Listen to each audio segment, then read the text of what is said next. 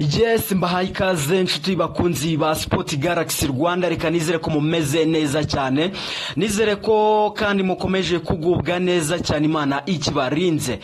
Kuri sport galaxy rwanda rero twibera mu mikino eh, tuganira imikino we break sports news sport is our universe niyo mpamvu nta handi ukwiye kumva amakuru y'imikino hatari kuri sport galaxy rwanda. Turi umuryango mugari wa youtube channel twiyemeje guha abanyarwanda guha abakunzi bacu bakadasohoka amakuru y'imikino dore ko siporo muri ino minsi.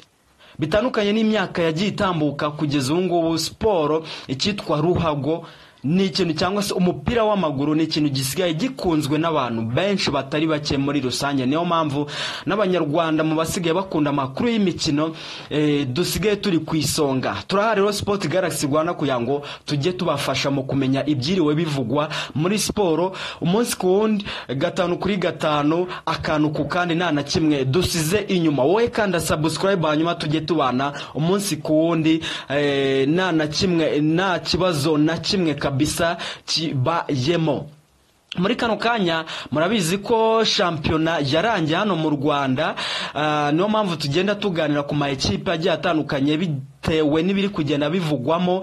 Ah, by'umwihariko ah, muri iyi minsi rero amakuru arimo aragenda avugwa cyane. Ni mu ikipe ya apel football club ndetse na kipe ya rayo sport. Ariko bitavuze ko n'andi ma ekipe nka za kiyovu na za as kigali za ah, za gasogi za bugesera cyane cyane ama ekipe yagumye mu cyiciro cya mbere amakuru agenda avugwamo. Yose tumenya akantu tuza kuburekinga ako kana kariko. Na hano uzajya ubyumva niba utarakanda subscribe uh, ntuzaturenganye uzaba ugenda ucikwa ibyiza nyamara uh, ibyiza turahari kugira ngo tubikugezeho nta kibazo nta mpungenge n'iyi n'imwe so muri kano kanya rero reka tugaruke kuri nyamukandagira ikipe ya apel football club imwe mu ma ekipe abakunzi bayo mu kimeze neza cyane mwishimye mukishimira igikombe cyanyu cya makumyabiri na kabiri mutwaye mudatsinzwe mutwaye murishije ikipe ya Rayon Sport mu buryo bugiye butandukanye yaba mu kibuga ndetse no hanze y'ikibuga. Uyu mwaka navuga ko ikipe ya apel football club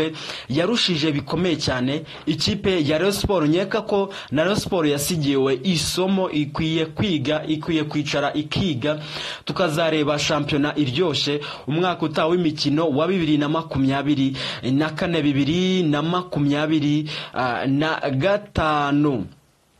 Bimeze gute rero? Eh, muri kano kanya mu ikipe ya apel football club urabizi ko harimo amavugurura ateye ubwoba amavugurura amwe akomeye cyane. Uyu munsi tugiye kugaruka kuri transferi ziri kugenda zivugwa uh, ku basore eh, b'ikipe ya apel football club. Eh, muri iyi kipe rero ya football club eh, biravugwa ko bamwe mu bakinnyi batabonye umwanya uhagije wo gukina umwaka ushize w'imikino bamaze gusaba ko barekurwa. Bo ku giti cyabo bateye intambwe barahaguruka baganiriza ubuyobozi bw'ikipe ya apel football club barababwira ati rero twe twabonye umwaka w'imikino urangiye tutarakoreshejwe. Ati intebe twazicayeho eh, ibibuno birashyuha birashya tudakina tugakora imyitozo ariko bikarangira tudakinnye.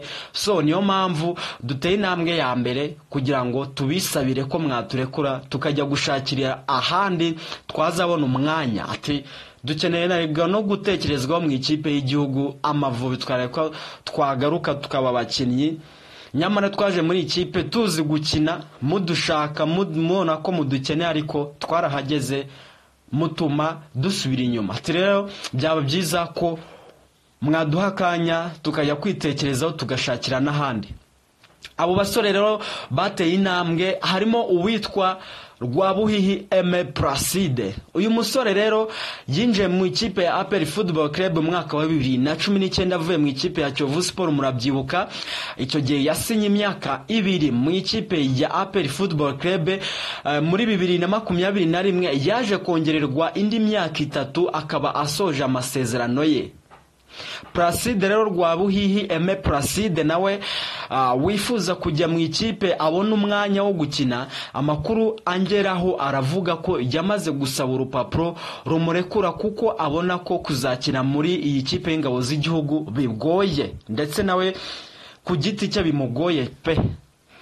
Avuga rero ko yahagurutse agatera intambwe akajya gusaba ko iyi kipe yamuha ubwisanzure yamuha release leta akajya gushakira ahandi. Cyane ko n'amasezerano ye asa nk'ayarangiye.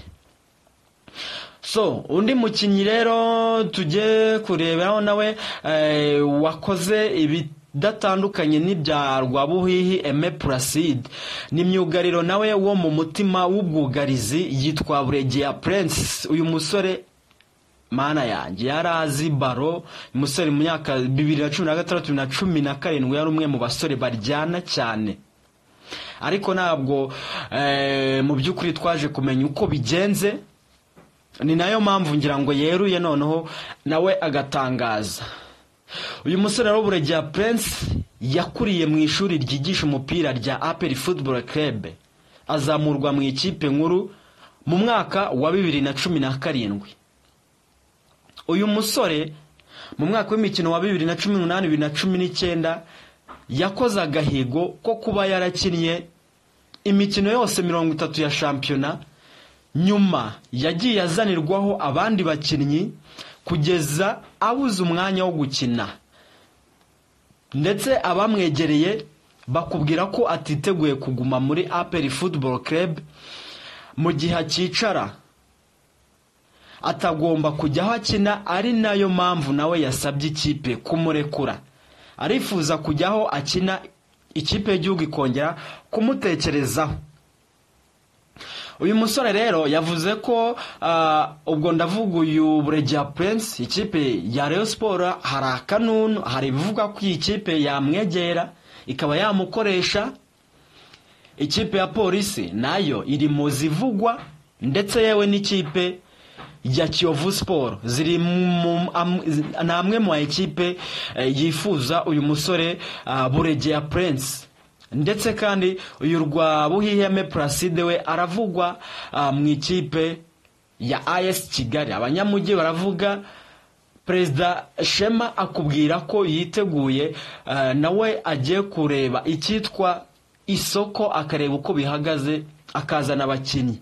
Bake bake we avuga ko atazirwa yirusha kuko n'ubundi atazasohokera igihugu azategura abakinnyi beza batamuhenze bidasabye ko ajya kugura intwaro hanze. Ati intwaro zaza ariko yahera no ku bakinnyi beza nk'aba bari kurekurwa n'ikipe ya aperi cyane ko nk'umukinnyi nk'uyu uba usohotse mu ikipe afite ishyaka ryo gukina aho agiye hari igihe kigera agatanga umusaruro kandi rero ubwo ama ekipe ni cyo gihe ngo abafatirane hakiri kare. Ubwo rero ni ibyo biri kugenda bivugwa undi musore ariko we bisa nkaho agifite umwanya mu ikipe ya aperi football club ni nige na krema ewa na amashyi yose kuri uno musore. Umusore wakoze uyu mwaka mu mutima wa defanse muri akisi santarari ubona ko nige na krema ameze neza. Ubwugarizi bwe na nshimimana yunusi ubona ko bwakoze bwagezeho koko biba duwo nziza kandi duwo. Yafashije cyane ikipe ya aperi futuboro club. Uyu musore rero nige na krema ni ndakorwaho ni ndasimbuzwa muri ikipe y'ingabo z'igihugu. So aracyafite amasezerano ariko binaravugwa ko azongererwa n'andi kugira ngo iyi kipe imwibikeho byibuze muri sezo ebyiri eshatu ziri imbere. Cyane ko hari n'amawofure yo hanze amushaka ariko uyu musore ikipe ya aperi futuboro kerebe by'umwihariko noneho hatari kwanga iki ceyamani we aravuga ati uyu ni umusore nyifite hano. Nashobora no gukora ikosa n'iri na rimwe cyangwa se ritoya rituma asohoka muri iyi kipe. Ubwo rero uyu musore rwose akomeweho cyane. Hariya mu ikipe ya peri futuboro kerebe mu batagomba gusohoka arimo. Nibyo rero birimo kugenda bivuga mu ikipe ya peri futuboro kerebe ni ayo makuru azindutse avugwa n'andi menshi. Ikijyanye n'abakinnyi ikipe iri mu ibanga rikomeye iri kugenda isinyisha hirya no hino.